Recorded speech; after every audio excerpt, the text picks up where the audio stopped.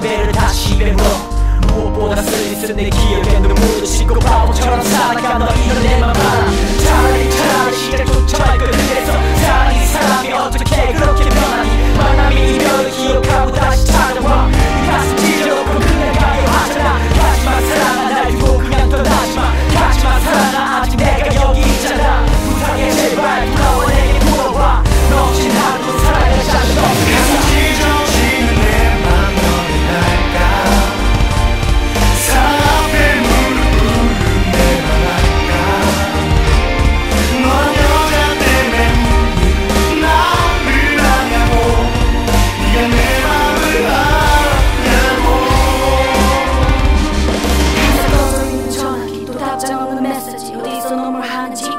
생각밖에 친구들 내게 말이 끝난 사랑이라고 말이라고 해